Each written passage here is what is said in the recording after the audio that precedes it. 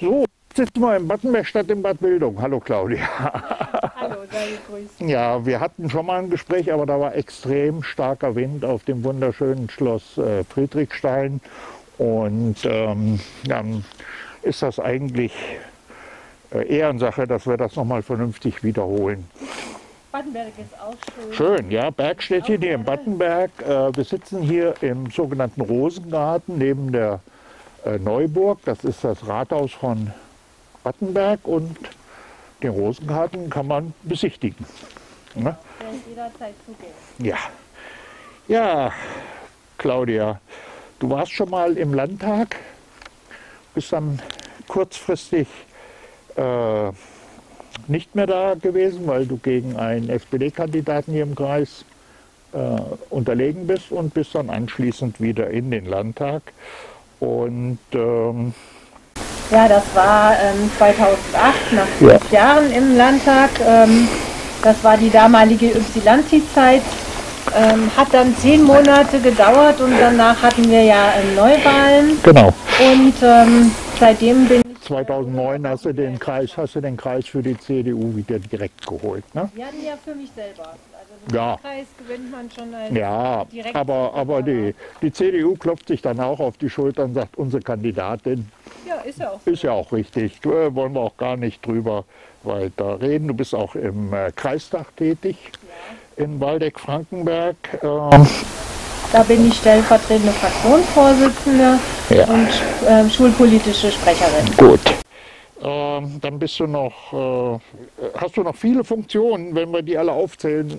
Ähm, Aber ganz wichtig ist, weil du äh, äh, schulpolitische Sprecherin sagst, du bist bei der Hans-Fissmann-Schule in Frankenberg ähm, ehrenamtlich Mitglied des Verwaltungsrates. Genau, auch diese Legislaturperiode darf ich diese Arbeit äh, fortsetzen und äh, mir ist äh, gerade am Berufsschulwesen sehr gelegen. Ich habe ja mal nebenbei Wirtschaftspädagogik studiert und äh, die Entwicklung ähm, hier bei uns im Landkreis mit den beiden rechtlich selbstständigen beruflichen Schulen, da gibt es nur vier Stück in ganz Hessen, Ja. ähm, die ist sehr, ähm, die ist positiv. Trotzdem, wir müssen alles tun, ähm, um auch die duale Ausbildung hier bei uns im Landkreis voranzubringen.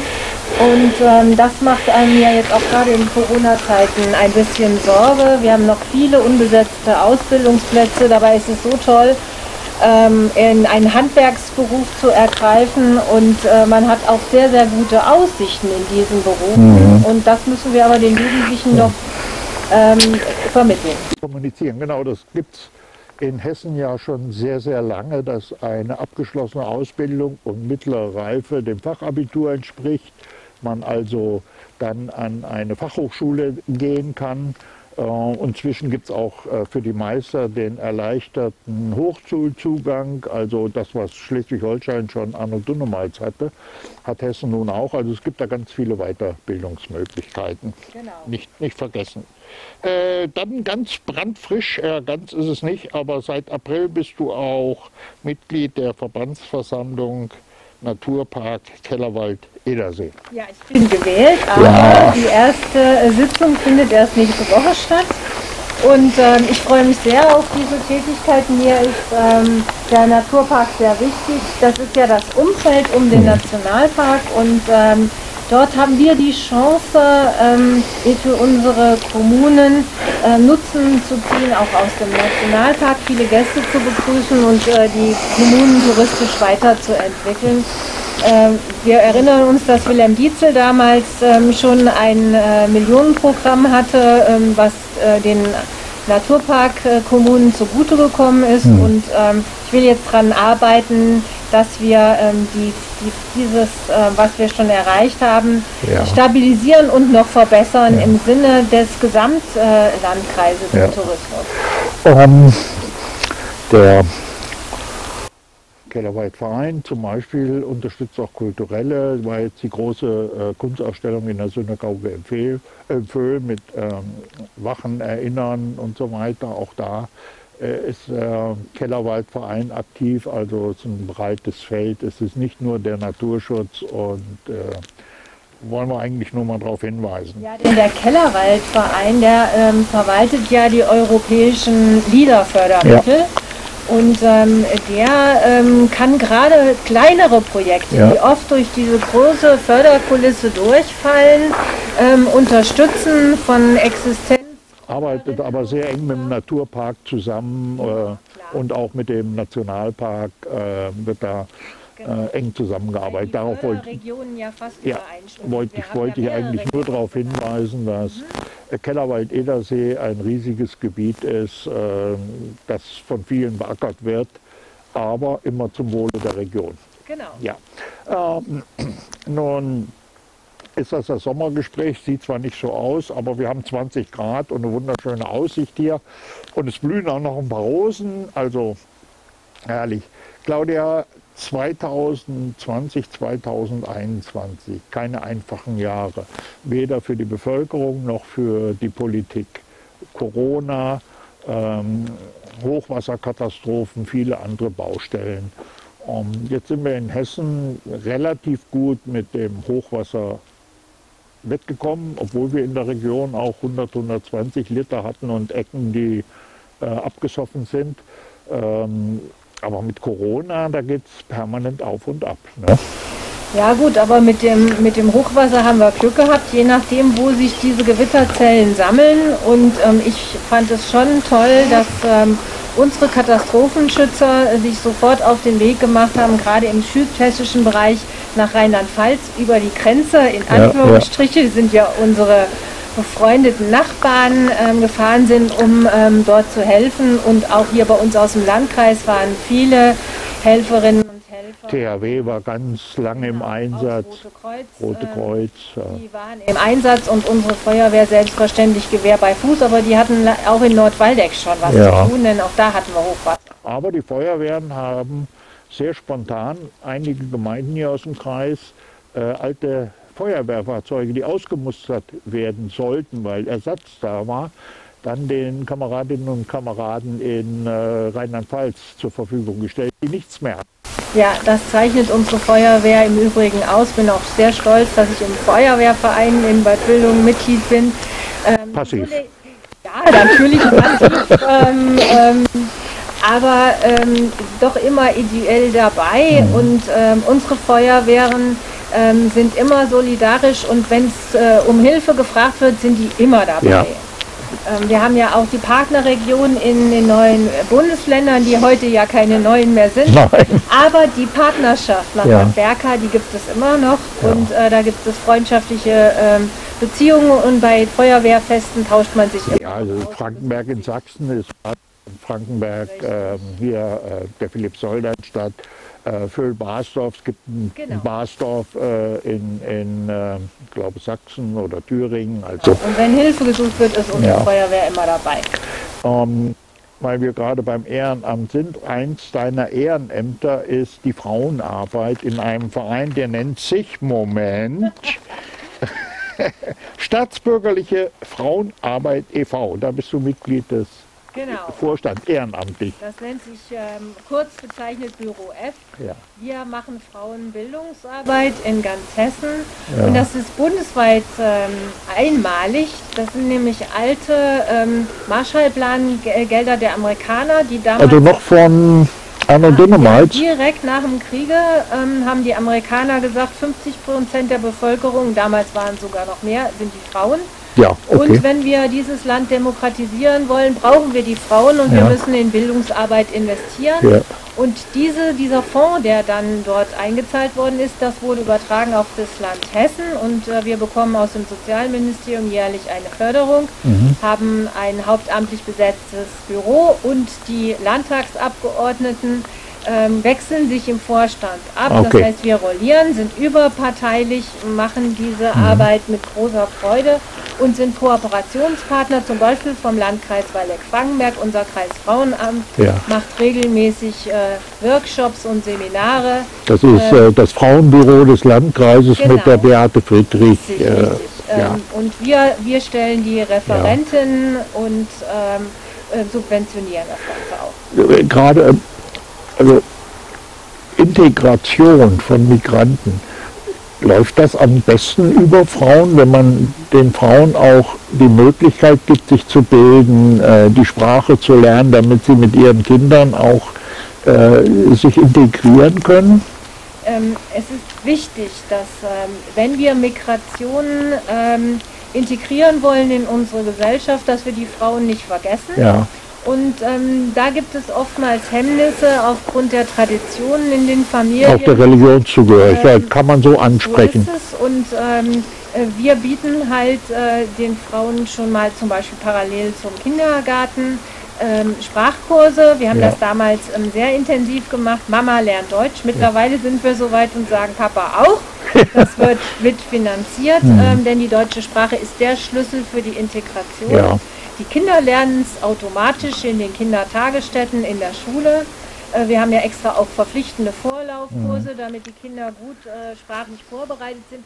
Aber bei den Frauen ist es umso wichtiger, dass wir ihnen Angebote machen, und zwar tagsüber, dass sie solche Kurse wahrnehmen können. Weil wir gerade bei Migration sind. Ähm, Afghanistan ist doof gelaufen, kann man nicht anders sagen. Und im Moment werden also Deadline ist der 31.08., wurde heute nochmal von den Taliban so bekräftigt. Äh, äh, also Staatsangehörige, Ortskräfte äh, aller Nationen, die also die, die, Streitkräfte, den NGOs und wie immer da äh, für die gearbeitet haben, ausgeflogen. Ähm, in deinem Wahlkreis liegt die Burgwaldkaserne. Die von Anfang an quasi mit dem Einsatz in Afghanistan war, in Masa al-Sharif und in Kunduz. Und auch Frankenberg gerade die Eloka hat Tote zu beklagen. Ist das jetzt wichtig, dass man sagt, so jetzt lassen wir den Rest aber nicht im Stich? Dann sind die nicht umsonst gestorben? Also bei der Bundeswehr ähm, gilt die Kameradschaft sehr viel, auch gegenüber den Familien getöteten Soldaten, aber auch der Verwundeten. Und man darf auch traumatisierte Soldaten. Und bin sehr froh, dass wir hier in Frankenberg auch die Familienbetreuung sehr, sehr ja. groß ähm, schreiben und äh,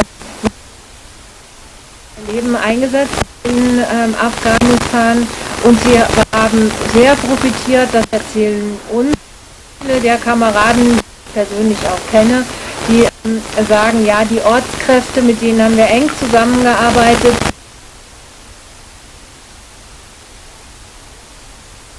haben wir nach Deutschland zu kommen und nicht nur alleine, sondern möglichst mit den Familien.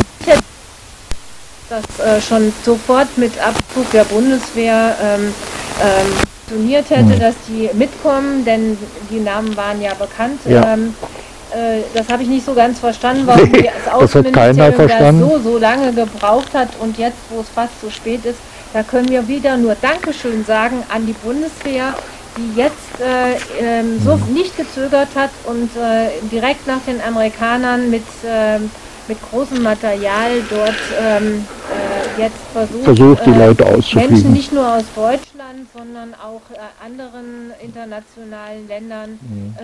die Möglichkeit zu geben, schnellstmöglich dieses Land zu verlassen. Nur, also ich bin ja auch etwas, etwas ich sag lieber erfahrener statt alt. Äh, man hat aus Vietnam nichts gelernt. Das war nämlich dieselbe Situation. Man hat sich sehr eilig dann aus Südvietnam, der Republik Südvietnam, zurückgezogen, obwohl ähm, die nordvietnamesische Armee und der Vietcong mitten im Land überall waren und hat dann äh, in aller Hektik, jeder kennt die Bilder, wie Hubschrauber versuchen, ähm, aus der amerikanischen Botschaft Leute auszufliegen, die sich an die Kufen hängen. Also man hat da einfach äh, ein Kurzzeitgedächtnis gehabt. Aber der Landkreis Waldeck-Frankenberg wäre auch bereit, der ein oder anderen dieser Ortskräfte hier Unterschlupf zu gewähren. Ähm, es gibt viele Städte auch ähm, in Hessen, Hessen und in ganz Deutschland, äh, die diese Menschen aufnehmen würden. Ich glaube nicht, dass das das Problem ist, hm. sondern das Problem ist, ähm, die Berechtigten jetzt zu identifizieren und ihnen ein sicheres Geleit irgendwie zum Flughafen durch die Kontrollstellen der Taliban, die quasi an jeder, Werk, äh, äh, an jeder Verkehrskreuzung stehen, ja. Ähm, zu gewährleisten und dann noch äh, den Zugang zum Flughafen. Und wenn sie dann da sind, dann werden sie ausgeflogen und dann werden sie auch ähm, ja. untergebracht werden. Da habe ich überhaupt gar keinen Zweifel. Jetzt kommen wir mal zum ganz anderen Thema. ähm, zur Schulpolitik und schulpolitischen Sprecherin. Ähm, Corona hat eins offenbart. So ganz auf der Höhe der Zeit waren unsere Schulen nicht technisch. Und äh, man kann nicht in anderthalb, zwei Jahren das nachholen. Ich rede jetzt von WLAN, von modernen Medien und so weiter. Ich rede noch nicht mal von den Lüftungsgeräten. Man kann nicht in anderthalb oder zwei Jahren das nachholen, was man 15, 20 Jahre lang liegen gelassen hat. Ähm, nächste Woche geht die Schule wieder los. Wir sind in der letzten Ferienwoche. Äh, Corona ist immer noch da. RKI spricht sogar von der vierten Welle oder der Herr Drosten und äh, noch funktioniert in vielen Schulen nicht alles. Ja, aber wir sind im Landkreis wirklich auf gutem Weg. Wir sind hier zum Beispiel in Battenberg. Ähm, Battenberg hat die Gesamtschule und auch die Grundschule sind komplett angeschlossen. Der Landkreis hat äh, die Schule ausgestattet mit den notwendigen äh, Gerätschaften innerhalb der Klassenräume. Die Schülerinnen und Schüler, die bedürftig sind, haben die Laptops und auch die Lehrer bekommen jetzt ihre Ausstattung. Also gerade äh, Aber warum erst durch Corona? Warum, warum hat man das nicht vorher? Wir waren ja immer bildungsmäßig weltweit immer irgendwo Mittelklasse. Ja, erstmal ist keiner davon ausgegangen, dass ähm, die Digitalisierung dazu äh, dient, 100 Prozent des Unterrichtes ähm, abzuwickeln zu Hause, sondern Digitalisierung sollte eigentlich nur sein, dass man unterstützend den, den, Unterricht auch mit digitalen Instrumenten machen soll. Wir haben den Anschluss hier ans Glasfaser hm. gerade ähm, erst bekommen durch die Breitband Nordhessen-Initiative und ähm, da mussten wir ja als Landkreis erst nachweisen oder als nordhessische Landkreise, dass der Markt versagt, weil Telekom und Vodafone, wie sie alle heißen, oder O2 nicht gehandelt haben und die äh, Kommunen hier, gerade im oberen Eldertal gibt es viele davon, äh, wo die Dörfer und Städte nicht angeschlossen waren. Das haben wir gewährleistet in Eigeninitiative. Und jetzt ähm, schließen wir die Schulen an und bis zu den äh, Herbstferien haben wir hier in Waldeck-Frankenberg die Hausaufgaben gemacht. Also ich habe da gar keine äh, großen Bedenken. Wichtig ist doch, die Schülerinnen und Schüler wollen sich wieder in der Schule treffen. Müssen sie. Wollen, sie wollen auch am Unterricht teilhaben, sie wollen ihre äh, Kameraden treffen und ähm, es, bei allen guten Willen ähm, im Unterricht zu Hause auf digitale Art und Weise kann das doch die, die persönliche Begegnung nicht mhm. ersetzen. Und deshalb müssen wir die Voraussetzungen schaffen und da war der Landkreis auch in den Ferien tätig. Eine Schule die ja, Kalbach-Schule. Ähm, aber wir haben ähm, die Planung so umgestellt, dass auch die Schulen, die jetzt saniert werden, wie die Lenenthal-Schule zum Beispiel in Bad Wildung, ja. aber auch die neue Grundschule in Sachsenhausen, dass die mit Lüftungen ausgestattet sind. Ja. Ähm, damit äh, gelüftet werden kann, werden Fenster ausgewechselt. Und ähm, das Impfen ist mir auch wichtig. Unser Landrat macht zu gutem Recht ähm, dort jetzt auch Werbung für die ab 12-Jährigen Gut, das war ja auch bis vor einer Woche oder zwei noch nicht so ganz klar. Ja, Inzwischen. RK, RKI keine. Äh, die STIKO hat keine. STIKO, Entschuldigung, hat mhm. keine gegeben, die ist aber jetzt. Keine da. Empfehlung und jetzt ist sie da und, und jetzt läuft das. ist auch aus. Ja. Da, ja. Von daher äh, kann das jetzt auch starten und ähm, natürlich müssen die Hygieneregeln, die berühmten 3Gs auch eingehalten werden. Also ich meine, dass, dass die, viele Schulen einen dringenden Sanierungsbedarf haben, ist unbestritten. Das weiß auch die Politik. Ähm, aber man soll nicht nur man soll auch mal sagen, äh, es wird eine neue Grundschule gebaut. Das ist einer der wenigen Kreise in Hessen, wo eine neue Grundschule gebaut wird. Und es wird auch ein, ähm, neue, ein neues Berufsschulgebäude erstellt. Ähm, das muss man auch mal sagen. Also auf der anderen Seite gibt es natürlich genug Schulen, die andere Fenster brauchen, weil die sich nicht richtig öffnen lassen, die an äh, Straßen liegen. Ich denke hier an die Edertalschule in Frankenberg, die an der Geismarer Straße liegt, wo äh, diese zwei, äh, das Lüften zwar eine tolle Sache ist, aber damit ist der Unterricht hinfällig, weil das ist eine vielbefahrene Straße. Ja gut, der Landkreis kann nicht zaubern und das ist ein altes Schulgebäude. Es war früher sogar auch eine Lehrerausbildungsstelle und gar keine Schule mit sehr viel breiten Naja, aber das war vor dem Ersten Weltkrieg Lehrerausbildungsstelle. Ja, das, das gleiche Gebäude.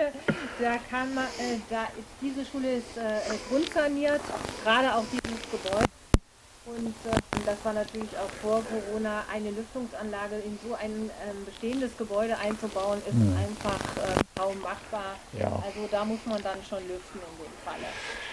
Nichtsdestotrotz, äh, noch sind Parlamentsferien in Hessen, was natürlich Abgeordnete aller Couleur letztendlich dazu mehr oder weniger verpflichtet, äh, also neben den Sommertouren, die ja gerne und freiwillig gemacht werden, weil man dann die Zeit hat, auch mit den äh, Wählerinnen und Wählern im Wahlkreis in Kontakt zu kommen und sich eben auch mal nicht in fünf Minuten Termin, sondern in irgendeinem Ort wirklich mit den Problemen befassen kann.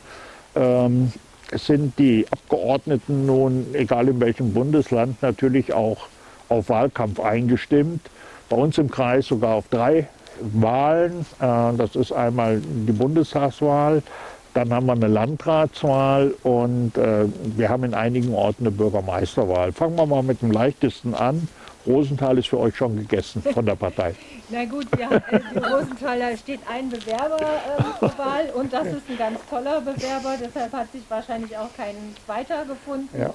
Und ähm, ich war auch schon zum Wahlkreistag in Rosenthal. Ähm, das ist eine, eine tolle Stadt.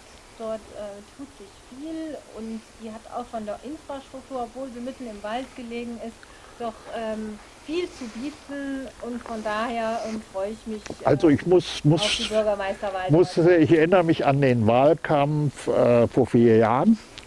Da war eine Veranstaltung mit Helge Braun und ich fahre dann nach Rosenthal und muss feststellen, WLAN. Da war noch kein Hessen-WLAN und keine von nichts die Rede, aber in dem Städtchen, dafür hatte der Bürgermeister gesorgt, dass es an verschiedenen Ecken freies WLAN gibt, Ja. äh, um t- die Flüchtlingen und, äh, zu- äh, zu ermöglichen, über WLAN mit zu Hause zu kommunizieren. Also äh, da war Rosenthal vorne, muss ich ganz klar und sagen. da haben wir natürlich auch Glück gehabt, dass wir äh, findige ähm, Funker hatten, die dieses freie Funknetz dort aufgebaut haben. Das hat ja von Frankenberg bis nach Bad Willungberg-Freiheit ähm, vielen überhaupt den Zugang Ja. ähm, ermöglicht.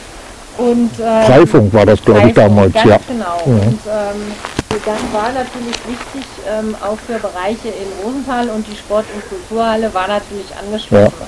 Ja gut, ich denke an, an einen deiner äh, Orts, äh, Stadtteile von deiner Heimatstadt, das ist Frebershausen, da sind die Berge hoch und das Tal ist tief und finster. Äh, ohne dieses WLAN, äh, das dann äh, fast überall im Ort funktioniert, seit drei oder vier Jahren, wären wir ja von der Welt abgehangen Ja, gewesen. Das Ne? Problem ist, da haben wir schon viele Gespräche mit den Mobilfunkbetreibern ähm, äh, geführt. Ähm, die liegen halt im Funkschatten. Ja, sag ja, die Berge sind hoch und das Tal ist finster. Und ähm, wir ähm, haben aber noch mehr weiße Flecken und da ist der Landkreis jetzt dran. Ja. Ähm, wir dürfen jetzt auch äh, Fördermittel einsetzen und als Staat selber handeln, weil ähm, die großen Mobilfunkanbieter Ich komme ja auch aus so einem Ort, Dörfern eben nicht. der, der äh, ein weißer Fleck auf der Mobilfunkkarte ist, Altenlotheim. Das ist bis zum Ortsschild und nach dem Ortsschild zwischen schwierig. Also ich Da kenne das. Da, genau, da ich ja sehr viel auch mit meinem Auto im Wahlkreis unterwegs bin, kenne ich sämtliche in der Das sollte dich doch motivieren, Ja. hier für unseren Kreis ausreichend Druck zu machen. Genau, also wir sind da ja wirklich dran und ich habe auch schon bis zum ähm, Verlassschef von Hessen bei der Telekom Gespräche geführt. Ähm, aber die Telekom ist wie die Deutsche Bahn. ja, ja, immer noch ein Staatsunternehmen, auch wenn sie was anderes behaupten. Ja, aber ich glaube, die Telekom braucht sich gar nicht zu verstecken. Das Netz, was sie jetzt mittlerweile aufgebaut haben, ich will einige weiße Flecken und graue Flecken Gut, ausnehmen. war damals eine Entscheidung der, der, der Grauen Post, äh, ihr Kabelnetz, wir erinnern uns alle, die Kabel, Fernsehen in den 80er Jahren kam alles über die Post und irgendwann haben sie es verkauft und heute ärgern sie sich drüber, braucht man nicht noch weiter zu Es ist, diskutieren. glaub ich, auch müßig, äh, ähm, darüber zu streiten, ob äh, bei diesen komplizierten Strukturen der Staat in seiner Aufgabe da besser und schneller Bra braucht man nicht drüber, äh, ist vorbei. Ja, aber, aber weil wir hier, wir haben viele Straßen, wir haben eine Bahn hier, wir haben, äh, ähm, wie gesagt, es fehlt an, an äh, digitaler Infrastruktur teilweise, aber es ist nicht eine Aufgabe des Staates zu sagen, dass Daseinsfürsorge, weil ähm, du bist ja Bankkauffrau und äh, Wirtschaftsfachfrau. Äh, Netze sind natürliche Kartelle. Und natürliche Kartelle gehören eigentlich in die Hand des Staates, ob er sie dann verpachtet, vermietet, verließ. Äh, die schlechteste Alternative, wie macht jetzt der Kreis mit dem Schulgebäude, ist PPB, aber ähm, das Hat ist... aber gut funktioniert, das Gebäude ist schon fast fertig. Ja, Das ist nicht ja. Nur unter, unterm Strich, unterm. Strich wird es dann äh, doch ein, ein bisschen teurer. Das als, ähm, glaube ich jetzt bei dem jetzigen Zinssatz. Alle, Im Moment werden alle ähm, Gebäude teurer, weil wir, weil die Handwerker kaum ans Material Ja. kommen. Aber, aber Zinsen sind günstig. Und der Vertrag wurde vorher geschlossen und es wurde Okay. auch ein, Festpreis vereinbart. Also von daher habe ich da. Ist, ist ja müßig, also wie gesagt, äh, PPP kann man darüber diskutieren. Aus äh, wirtschaftlicher Sicht ist es äh, so oder so zu betrachten. Jetzt ist der Landkreis natürlich kein Unternehmen an sich, ähm, der dann mit Abschreibung und Gott weiß was operieren könnte bei so einem Gebäude. Aber er hat die, na gut, egal. Äh, Nochmal, wir- drauf äh, planieren ja auch die beruflichen Schulen insgesamt. Nochmal zu den, zu den, ähm, ist auch der, der Landkreis beteiligt. nochmal zu den natürlichen Kartellen. Äh, ist es nicht so, dass, dass das zur Daseinsfürsorge eine Straße, ein Telefon heute, eine Stromleitung und so weiter und dass da eigentlich der Staat die Oberhoheit haben müsste? Also ähm, es ist selbstverständlich so, dass der Landkreis und auch das Land Hessen sich ähm, wieder bunt drum kümmern müssen. Ja. Ähm, hätte man vielleicht ähm, das auch ein wenig vereinfachen können, weil die Hindernisse, die auch über die EU kamen, sehr kompliziert waren. Ähm, der, das Land und der Landkreis gehen aber doch in die Verantwortung. Ähm, alles, was wir jetzt machen von Breitband Nordhessen, wird ja auch gefördert. Und äh, der, wir haben ja in Hessen ein Digitalministerium und auch einen Breitbandbeauftragten und die sind im ständigen Kontakt mit unserem Landkreis, wie mit anderen Landkreisen in Hessen, um das Thema wirklich voranzubringen. Also die Verantwortung des Staates ist nicht äh, weg, sondern ist nach wie Naja, ich jetzt, also das eine ist ja die Infrastruktur, das andere ist ähm, quasi die, die Software, das Weiche, das, die Infrastruktur mit Bits und Bytes und Strom zu befüllen. Also muss man ja unterscheiden. Wer das nun befüllt, ist dem Endverbraucher letztendlich egal. Es muss funktionieren, es muss bezahlbar sein. Ja. Ähm, Und Wünsche sind da noch offen. Da hat die neue Bundesregierung sicherlich auch noch äh, eine der wichtigen Aufgaben. Kommen wir gleich zu. Ja. ähm, eins muss ich vielleicht sagen, ähm, auch nachdem es auch so ein bisschen vor sich hingedümpelt ist, äh, wir hatten über Freifunk gesprochen, also Initiativen äh, für WLAN, für freies WLAN, ähm, hat Hessen dann ein bisschen Gas gegeben und die Dorflinde äh, bei uns im Kreis in vielen Orten inzwischen installiert, sprich äh, Du meinst jetzt nicht die Bäume, die Nein, ich meine die digitale Dorflinde, also freies WLAN an vielen Genau, dass man- Ecken. Und das ist, ähm, das ist gerade für die Jugend ganz toll, ähm, Mhm. dass wir jetzt an vielen Punkten, wo man sich trifft, ähm, die mit der digitalen Dorflinde ein WLAN-Netz aufgebaut hat, in, in das man sich einloggen kann. Wir waren jüngst in äh, Vandenberg-Geismar, Ja. ähm, wo die letzte ähm, Do- Dorflinde jetzt noch Edertal ist die letzte. Eder, in Edertal, ja, ähm, also es geht voran und Ja. ähm, regelmäßig ähm, weiter und ähm, das Land fördert diese Dorflinden auch weiter. Ähm, und ähm, es ist eine, eine tolle Möglichkeit. Ich habe es jetzt im anderen Bundesland nämlich festgestellt, ähm, da war ich auf Radtour und wollte mal gucken, wo sind wir denn hier eigentlich? Und nirgendwo war ein freies WLAN-Netz zu finden. Also da sind wir in Hessen doch schon weit äh, Muss, vorangekommen. nun kommen wir beide ja vom Land, deswegen muss ich so ein bisschen schmunzeln. Äh, Treffpunkt auf den Dörfern war früher das Bushalterhäuschen oder die Milchbank, als das noch gab und man hat miteinander geredet. Und ich stelle mir gerade vor, dass fünf Jugendliche auf der Milch, auf dem Milchbänken gibt es ja nicht mehr, aber an der Bushaltestelle sitzen und äh, der Linke mit dem ganz Rechten draußen über WLAN kommuniziert. Ich will das aber gar nicht als Teil des Betriebs sein kann. Aber wir, uns ist auch wichtig, dass wir die Jugendchefs in den Dörfern behalten. Wir haben übrigens auch einen Mädchenbus, der nach wie vor bei uns im Landkreis unterwegs ist. Ja. Ähm, und zwar in die Dörfer. Also da kommt die Infrastruktur mhm. und daher rein und die haben übrigens auch WLAN dabei. Also WLAN, das nicht nur auf die Jugend auf den Kräfte bestellen. WLAN ist deswegen wichtig, weil man zum Beispiel ähm, an manchen Ecken, äh, wie du sagst, mal seine Software updaten kann auf dem Smartphone, ähm, in, in, eine Karte guckt, ähm, Restaurantführer reichen kann, also auch für die Gäste. Wir sind ja nun Tourismusregion ganz wichtig ähm, und äh, deswegen also nicht nur auf die Jugend, sondern wirklich äh, in jedem Dorf sollte eine digitale Linde sein. Wenn die Senioren auch damit umgehen können. Also ich kann. Dann ist das wir haben auch sogar Scouts, die äh, den Senioren helfen, ähm, die sagen, ich möchte ja gerne auch daran teilhaben. Ja. Hier ist mein Smartphone, wie gehe ich damit um? Ja. Ähm, kommen wir zur Landratswahl. Und das war nach der Kommunalwahl erstmal, naja, äh, GroKo, diesmal mit der SPD als Juniorpartner äh, und eigentlich war alles klar. Ähm, Dr. Reinhard Kubert, unser jetziger Landrat, hat also sehr früh schon seinen Finger gehoben, da wussten die Genossen noch gar nichts davon, da hat er schon gesagt, wir machen es normal, ist dann auch so bestätigt worden.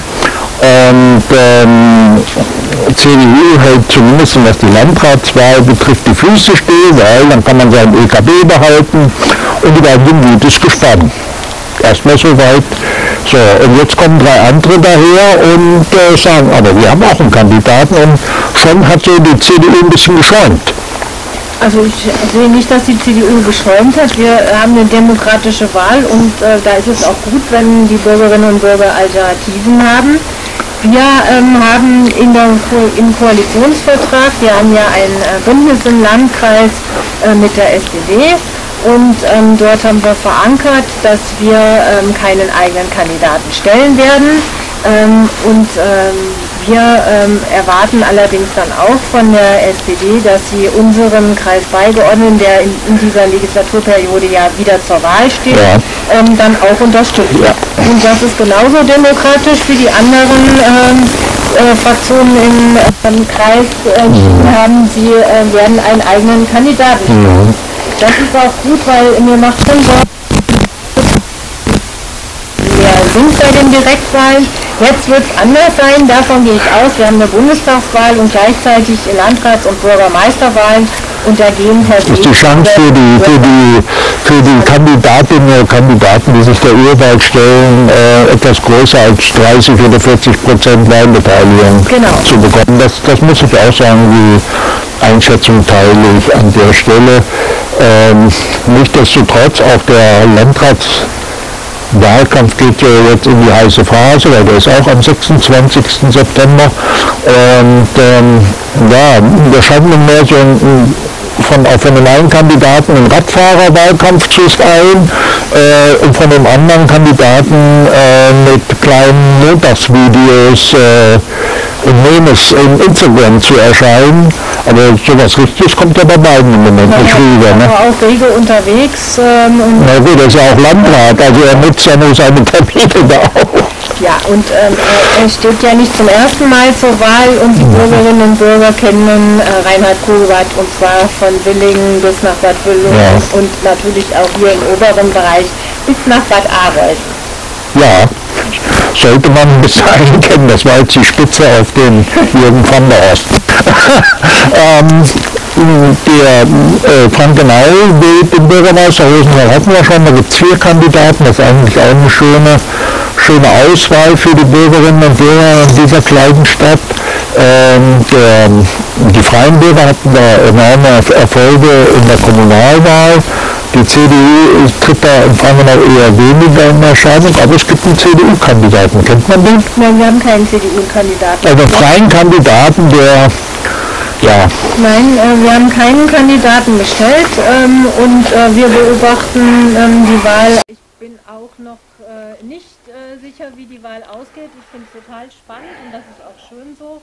Und ähm, ich vermute mal, dass wir da in eine Stichwahl kommen werden. Das äh, denke ich auch. Es sind drei starke Kandidaten, also die, die bekannt sind. Der eine, der macht sich gerade bekannt, der SPD-Kandidat, macht das eigentlich auch ganz gut. Ähm, der Kandidat der Freien Bürger ist bekannt von klein auf quasi und tourt auch durch die Gegend. Und der dritte Kandidat war 15 Jahre äh, auf dem Rathaus, also dürfte auch den meisten bekannt sein. Ähm, das scheint spannend zu werden. Das sehe ich auch so. Man, man muss sehen, wie sie sich beim Forum der Lokalzeitung demnächst schlagen werden. Genau, das ist ähm, erfahrungsgemäß eine der entscheidenden Termine, ähm, wo sich Bürgerinnen und Bürger in großer Zahl übrigens auch ähm, interessiert zeigen. Und, und auch umentscheiden, obwohl sie vorher anders gepolt genau, waren. muss man mal gucken unter Corona, was mhm. da möglich ist oder ob man auch sich digital zuschalten kann, das weiß ich noch nicht. Mhm. Aber da ist das Interesse an den Kandidaten schon groß haben wir noch den Bundestagswahlkampf. Äh, da bist du heute, heute Nachmittag quasi äh, doppelgleisig unterwegs, nachher auch mit der äh, Kandidatin für den Wahlkreis hier, die Bischof. Die also ähm, quasi den Wahlkreis von Bernd Siebert versucht, wieder für die CDU zu gewinnen oder für sich zu gewinnen. Ähm, bei Bernd Siebert tritt nicht mehr an. Ähm, ja, der hat ja die Altersgrenze erreicht. Ja, und, und äh, äh jetzt eine junge, dynamische und gut ausgebildete und gut äh, aussehende, darf man euch auch mal sagen. sagen ähm, Kandidatin ja. und ähm, sie macht sich hier in, äh, im Bereich äh, unseres Landkreises äh, bekannt. Ja. Sie kommt ja aus Fritzlar, also so weit entfernt ist sie nicht. Und ähm, äh, sie begleitet mich bei vielen meiner äh, Wahlkreistage, denn äh, ich mache ja jeden Sommer äh, meine Wahlkreisreisen mhm. durch die äh, Gemeinden und Städte äh, meines Wahlkreises und heute bin ich in Battenberg unterwegs. Also einmal in der Kernstadt und natürlich dann auch in Dodenau, ne? Ja, ähm, Dodenau ist äh, in Battenberg hat eine besondere Rolle, weil sie ja Tourismus. Ähm, Der einzige Ort, wo Tourismus möglich ist. Ja, aber ähm, ähm, zum Beispiel Motorradfahrer kreisen weit über unsere Landesgrenzen ja, ja. bestens ja. bekannt. Und ähm, sie haben sich da eine tolle Nische gesucht und äh, unser Eder-Radweg, der geht an Dodenau mhm. vorbei. Ähm, da endet ja der Tunnel. Ähm, also von daher, da ist viel Potenzial und ähm, die Donauer sind auch sehr äh, rege, was ähm, Vermarktung ähm, angeht. Ja, ja die, also die, die, Zahl, die Übernachtungszahlen von Battenberg gehören eigentlich nach Dodenau, das muss man fairerweise sagen. Äh, Battenberg selber hat zwar einiges zu bieten, aber hat, glaube ich, doch nicht alles Potenzial. Also wir haben gerade oben eben am Neu, aber an der Neuburg ähm, zwei holländische ja. Gäste getroffen, die ganz begeistert sind, die ähm, was für eine schöne Altstadt hier Wattenberg hat. Ja, aber deswegen sage ich, die haben ihr Potenzial noch nicht ganz äh, genau. Erschlossen. Ähm, man muss dazu sagen, die äh, könnten also auch mit dem Pfund Mountbatten wuchern und es würde Windsor Mountbatten überhaupt nicht interessieren, wenn die da ein Schild dran machen, äh, Mountbatten Home oder was weiß ich. Aber da, da sind sie sehr zurückhaltend, die Battenberger. Äh, Och, ich finde das aber häufig im Netz. Und, immer ja. wenn ähm, das britische Königshaus ähm, irgendwelche Jubiläen hat, dann... Dann schicken sie eine Glückwunschkarte. Und dann wird die Fahne gehisst. Ja, das war es dann aber auch. Also man könnte da ein bisschen mehr draus machen. Die holländischen Gäste waren da allerdings auch nicht angesprochen. nee.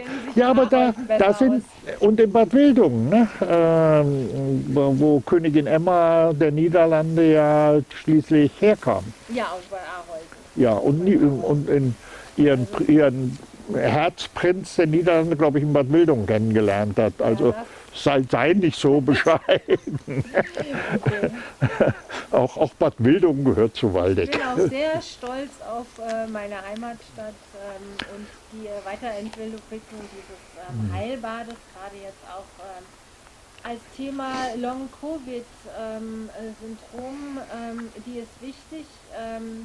Ich habe gerade eine Klinik ähm, letzte Woche äh, besucht, ähm, die sich jetzt darauf einstellen, dass mehr Patienten kommen werden, die ähm, viel, vielfältige ähm, ähm, Krankheitsbilder haben mhm. mit dem Long-Covid-Syndrom und ja. die bereiten sich jetzt vor, ähm, gute Therapien zu entwickeln, um diesen Menschen zu helfen.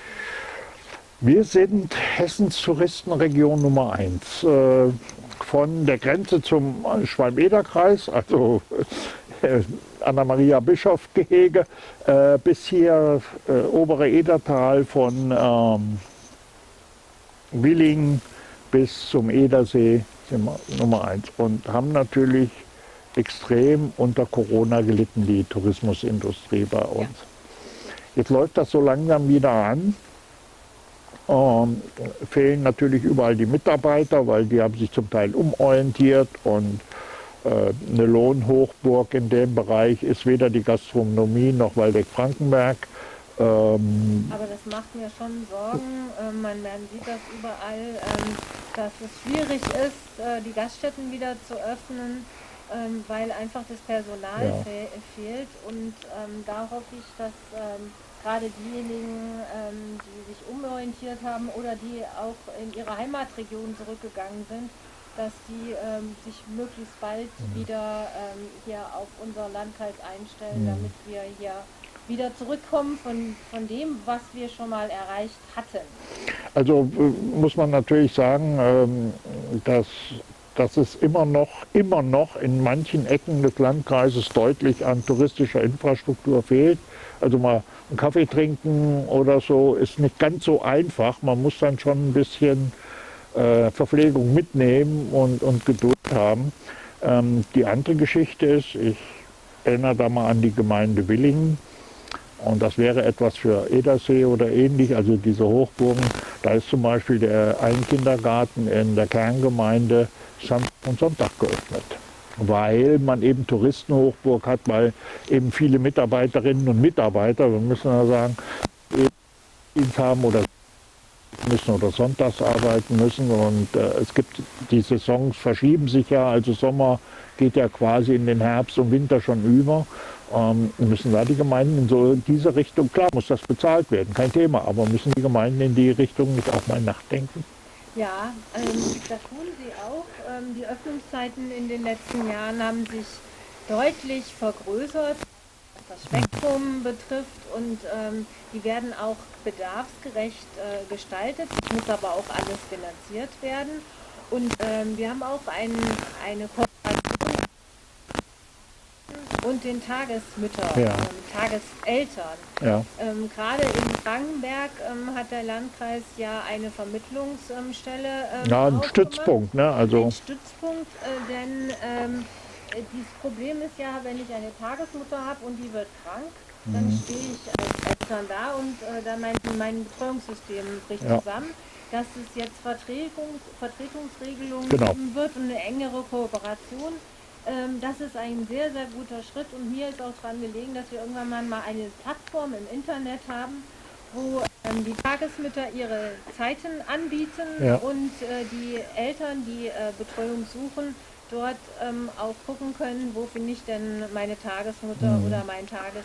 Also mit dem, mit dem Stützpunkt, ich war nämlich zufällig da und habe darüber berichtet. ähm, der ist auch ein Grund, auch Tagesmütter haben Ferien und Urlaub und können krank werden. Und ja. bis, bisher war das so, es gab ein Problem. Durch den Stützpunkt hat sich das nun geändert, weil es gibt Urlaubsvertretung, Krankheitsvertretung und im Notfall können auch in dem Stützpunkt einige Kinder äh, tageweise betreut werden. Also genau. das ist das Wichtige. Als ähm sozialpolitische Sprecherin im Landtag ist mir ja auch sehr daran gelegen, dass wir auch die Betreuungszeiten in der Grundschulzeit verbessern. Mhm. Dort ähm, äh, ist ja jetzt im Vermittlungsausschuss ähm, das Gesetz ähm, äh, das die Ganztagsbetreuung in den Grundschulen sicherstellen soll, übrigens auch in den Ferien. Ja. Ähm, da geht es noch ums Geld. Ähm, die Länder bekommen, äh, haben zu hohen Kostenanteil, der dann natürlich auch für die Kommunen zurückschlägt. Da kann der Boden sich noch durchaus bewegen. Aber der Weg ist klar. Wir brauchen Betreuungssicherheit für Eltern, gerade für die Mütter, die wieder arbeiten mhm. gehen wollen. Und zwar von, vom Kleinkind an über die Grundschulzeit hinaus. Ja. Und da haben wir im Moment zwar als Landkreis schon viel getan. Wir haben auch den Pakt für den Nachmittag eingeführt. Wir haben die betreuende Grundschule. Wir haben Ganztagsangebote. Mhm. Aber dann würden wir noch einen Schritt weiter gehen und könnten bis um 15 bis 17 Uhr dann auch die Betreuungssicherheit äh, darstellen und vor allen Dingen auch in Ferien. Ich höre es immer wieder von Frauen, die arbeiten gehen, ja, und was mache ich in den Ferien? Ich Ja. selber habe nur sechs Wochen Ferien und mein Kind ähm, ist in der anderen Zeit unbetreut und dann muss ich sehen, habe ich die Omas oder die Nachbarin. Ja. Jetzt, äh, sag mal, sind auch unsere Grundschüler inzwischen zum größten Teil Fahrschüler, äh, weil nicht jeder Ort mehr eine Grundschule hat. Äh, also ich sag mal, 15 Kilometer Umkreis in die Grundschule ist kein Thema bei uns im Kreis. Ähm, das heißt natürlich auch immer früh auf. Das heißt auch für die Senioren, die jetzt nun mal in Städtchen zum Arzt müssen Gott weiß was, äh, sich in den voll besetzten Schüler quetschen, was auch nicht immer ganz einfach ist. Ähm, also es gibt Stimmen, die schon seit Jahren sagen, lass die Schule doch mal eine Stunde später beginnen. Wäre für die Kinder besser äh, als, und, und für vieles andere Das auch. Modell können wir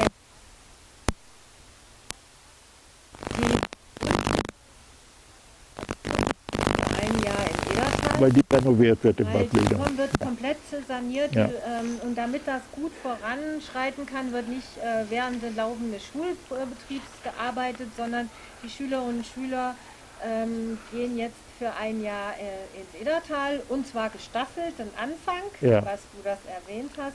Die fangen also später an, sodass jetzt erstmal die Schule, äh, die, die größeren Schüler morgens kommen und wenn die im Unterricht sind, dann kommen die die Grundschüler ähm, an und äh, da sind wir gespannt, ähm, wie das äh, funktionieren wird. Ich bin da sehr ähm, optimistisch, ähm, dass das Aber man kennt es von anderen, anderen Ländern, dass die Schule oft eben eine Stunde oder zwei später, an- dann allerdings auch bis in den Nachmittag hineingeht. Ne? Ja, wir, wir, ähm, wir haben aber auch ähm, Schulen, die einen freien Beginn morgens mit freiem Arbeiten machen, weil auch die Schulbusse ja nicht alle auf die gleiche Uhrzeit kommen, sondern auch Ja. ähm, zeitlich versetzt. Ja. Also diese Wege gibt es und ähm, wir haben bisher immer noch, und das ist mir auch wichtig, eine freiwillige Ganztagsschule.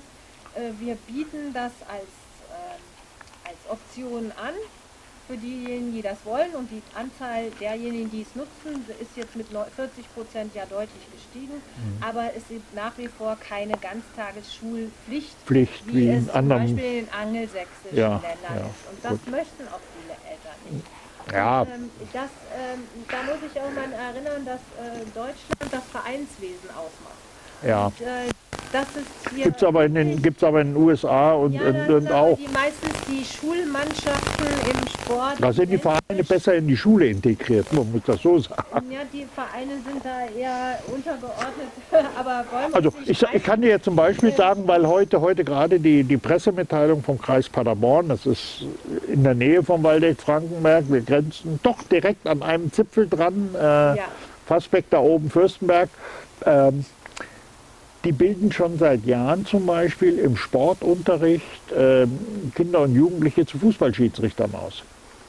Ja, also tolle Idee, weil man, man gibt den Vereinen etwas zurück, weil man denen jetzt ein, ein Jugend, also ich glaube ab zwölf äh, kann man das da machen äh, in den Schulen. Das ist doch eine tolle Idee. Wir haben ja auch äh, in den Ganztagsangeboten, die nachmittags stattfinden, in ganz vielen Schulen die Vereine integriert. Ja, Vom Sportverein bis ähm, zum Musikzug hier in Mhm. Battenberg ähm, und äh, anderen äh, Bereichen von, äh, vom Aquarienkunde ähm, bis, ähm, bis äh, zu Ja. Yoga ähm, gibt es da Angebote und natürlich auch im Handball oder im Fußball. Damit die äh, Sportvereine die Kinder schon mal in der Schule kennenlernen und sie dann ähm, fürs Vereinswesen gewinnen. Mhm. Denn es ist schade, wenn die äh, Jugendlichen die, die Möglichkeit nicht mehr haben, in, in zum Beispiel in Mannschaften zu spielen oder Ja. sich überhaupt an neue Sportarten äh, heranzuwagen. ich gucke so ein bisschen auf die Uhr, weil du hast einen Anschlusstermin um Ja. 15 Uhr, glaube ich. Genau. Und ähm, aber eine Sache ist vielleicht noch wichtig: Du selbst warst aktive Schwimmerin, ja. Und jetzt hat der Landkreis Waldeck-Frankenberg ja Folgendes gemacht: ähm, Es gab Bußgelder gegen die Verstöße der Corona-Auflagen. Und äh, normalerweise freut sich jede Kommune, jeder ähm, Stadtkämmerer, jeder Kreiskassenwart hier, toll, wieder 50, 60.000 Euro im Sack. Das hat der Kreis Waldeck-Frankenberg gemacht. Ne? Der hat die Schwimmbäder damit, oder Jugendlichen ermöglicht, schwimmen zu gehen in den Sommerferien. Nur hatten wir leider keinen richtigen Sommer. Ja, aber einige waren doch schon da. Ähm, also wir unterstützen hier viele ehrenamtliche Freibäder, auch ja. als Landkreis. Da gibt es ein Budget im Kreishaushalt. Die Förderbescheide wurden jetzt gerade auch wieder übergeben. In Landau. Ähm, ähm, und zusätzlich ähm, haben wir gesagt, ähm, äh, wir müssen ja als Landkreis zur Kenntnis nehmen, dass die Gefahr, dass Kinder überhaupt nicht mehr schwimmen lernen und dann verunglücken, gerade bei uns mit den vielen Seen gegeben ist. Seen und Flüssen soll man nicht unterschätzen. Ja, ja. auch mit Flüssen. An ja. den Wehren hier oder so baden ja ganz genau. viele. So, und mhm. ähm, viele Kinder wissen gar nicht, äh, welche Gefahren auch mit Wasser verbunden ja, sind. Also die Gewöhnung ans Wasser, die ist immens wichtig. Und ähm, Sportunterricht im dritten Schuljahr sollen ja alle Kinder, die es noch nicht können, spätestens bis dahin ihr, ähm, ihr schwimmen können. Ähm, da fand der Schwimmunterricht nicht statt. Und jetzt war es doch mal eine tolle Gelegenheit zu sagen, in den Sommerferien bieten wir unseren äh, Kindern die Möglichkeit, in die Bäder zu gehen, Kontakt zum, äh, zum äh, und auch Schwimmkurse zu machen. Ja. Auch das ähm, ist wichtig ähm, damit wenigstens alle Kinder sicher schwimmen lernen. Das also, war eine Herausforderung, das will ich noch so sagen, habe ich mir nämlich auch in Battenberg angeguckt. Ich habe selbstverständlich auch in diesem Sommer wieder ein Schwimmbad besucht, ähm, dass die Bademeister doch sehr aufpassen mussten, weil da Kinder dann im, der, im Schwimmbad waren und das ist auch richtig so, die vorher noch nie im Schwimmbad ja, waren. Die ja. wollen wir ja gerade gewinnen, ja, nicht die, die sowieso mit, äh, mit engagierten Eltern ähm, dann ins Schwimmbad gehen. Und ähm, das ist wohl auch gelungen. Es hätte mir natürlich noch schöneres Wetter sein können, es hätte wärmer sein können. Also weil wir hier im Battenberg sind, wir reden vom Bärenbad, wir reden von dem sogenannten Bärenbad äh, im Battenberg. Das ist ein Hallenbad und ein schönes Freibad und der Besuch lohnt sich immer. Ein bisschen Reklame dafür genau, machen für die Freibäder. Thema meines Wahlkreistages heute, ähm, mit dem Bürgermeister spreche. Und hat auch ein weites Einzugsgebiet bis weit ins Marburger Land rein oder selbst von Frankenberg her kommen die Leute lieber nach Battenberg. Ähm, ja, äh, Bundestagwahl Politiker glauben ja nicht an Umfragen, gucken aber jeden Tag drauf. Und im Moment läuft es nicht so optimal Nein, für, für deine Partei. Ähm, das hat verschiedene Gründe. Einmal gibt es den, der, äh, also wer früher, wer, wer, vom Land kommt, kennt die Ackerwagen und die Bremse war, man hat einen dicken Knüppel in die Speiche gesteckt, damit die Räder äh, stehen blieben, wenn die Kuhgespanne bergab ging, also der den Stock in die Knüppel in die Speichen steckt aus Bayern. Und dann gibt es auch so ein paar Fauxpas äh, des Kanzlerkandidaten. Wenn ich dich jetzt frage als CDU-Mitglied und CDU-Landtagsabgeordnete, wer wird Kanzler, wirst du sagen Laschet, ne? Genau, das ich sagen. und davon bin ich überzeugt. Ähm, trotzdem äh, müssen wir jetzt mal Gas geben. Mhm. Und ähm, äh, wir haben auch ähm, jetzt ähm, darüber gesprochen, dass wir mehr die Themen transportieren müssen. Ähm, auch mit unseren wirklich guten äh, Gesichtern mehr in die Presse gehen müssen und nicht nur ähm, einen Personenwahlkampf machen wollen. Und ähm, wir werden die, auf die Wählerinnen und Wähler jetzt zugehen. Mhm. Und ähm, heute Nachmittag ist auch so eine Gelegenheit, wie ähm, sich andere Gelegenheiten bieten. Ähm, was, mir, was, ich, was mich ja manchmal so ärgert, ist, ähm, dass die äh, äh, Presse doch heute da eine sehr große Macht hat, um einen Kandidaten hoch oder runter zu spielen. Ja, aber die, die Macht, die Macht, nein, die Macht hatten sie vorher auch schon. Der Unterschied ist, in den letzten 20 Jahren hat sich der Wahlkampf komplett geändert. Ähm, du erreichst heute Leute im Wahlkampf, die du früher äh, beim Ortstermin in der Dorfkneipe im Saal im Dorfgemeinschaftshaus erreicht hast. Und die sind nach Hause gegangen, haben sich die Köpfe am Stammtisch heiß geredet.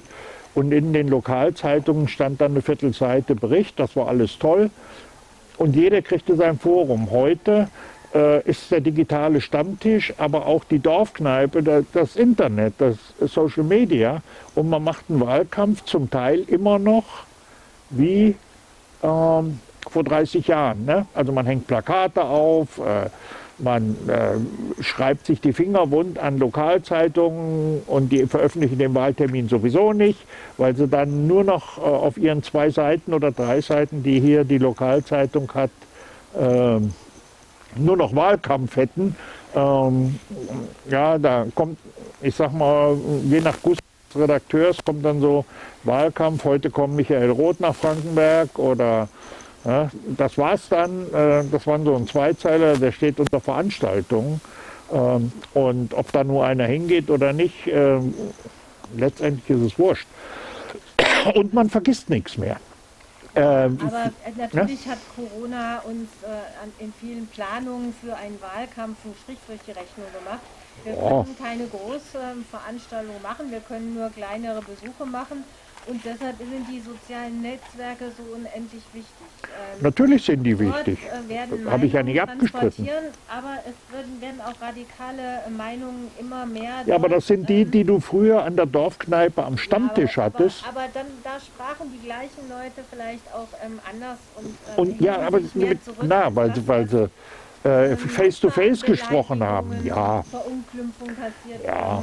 Das ähm, ist manchmal erschreckend, was da Ja, das, das sehe ich auch so. Aber wir, wir als Parteien stellen wir uns da natürlich dar und äh, die, äh, viele Bürgerinnen und Bürger schauen auch und äh, gucken, was, was dort gemacht wird. Aber ist es nicht so, ist es nicht, ist es nicht so, dass in den, in den letzten Jahren viele äh, Themen, die vorher bestimmten Parteien zugeordnet werden konnten, die Kernkompetenzen waren, wie man so schön sagt, ähm, inzwischen äh, fast jede Partei auf der Pfanne hat.